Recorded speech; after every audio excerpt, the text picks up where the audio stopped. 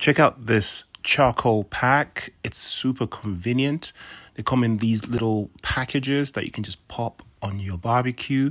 They're super useful because they just ignite by themselves. So you just light it with a match or lighter of some kind and it just basically just burns and ignites the charcoal. The charcoal itself burns really nicely. And if you just leave it burning, it's got low smoke output. And after a while, you can see that it starts to become gray. You can give it a little spread if you want, so it goes across the tray. Just wait until it's a bit gray and it's ready for your barbecue.